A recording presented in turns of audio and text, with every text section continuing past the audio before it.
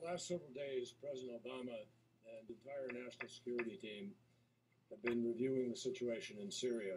And today I want to provide an update on our efforts as we consider our response uh, to the use of chemical weapons. What we saw in Syria last week should shock the conscience of the world. It defies any code of morality. Let me be clear. The indiscriminate slaughter of civilians, the killing of women and children and innocent bystanders by chemical weapons is a moral obscenity. By any standard, it is inexcusable, and despite the excuses and equivocations that some have manufactured, it is undeniable. The meaning of this attack goes beyond the conflict in Syria itself. And that conflict has already brought so much terrible suffering. This is about the large scale, indiscriminate use of weapons that the civilized world long ago decided must never be used at all, a conviction shared even by countries that agree on little else. There is a clear reason that the world has banned entirely the use of chemical weapons.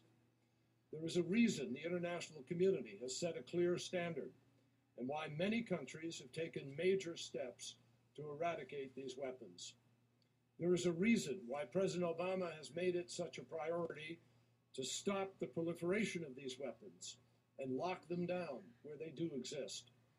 There is a reason why President Obama has made clear to the Assad regime that this international norm cannot be violated without consequences. And there is a reason why, no matter what you believe about Syria, all peoples and all nations who believe in the cause of our common humanity must stand up to assure that there is accountability for the use of chemical weapons so that it never happens again. Well, there you have it, y'all. They know that uh, they used chemical weapons. They know they have them. Yada, yada, yada. And there will be consequences. Let's hope they don't act foolishly on this thing. But they already have, as far as what I can see. Let's uh, pray that this isn't too, the ramifications aren't too drastically bad. But I fear they will be. This is Chatty Dad 1 for Nuke the News Media. Have a great day. Over and out.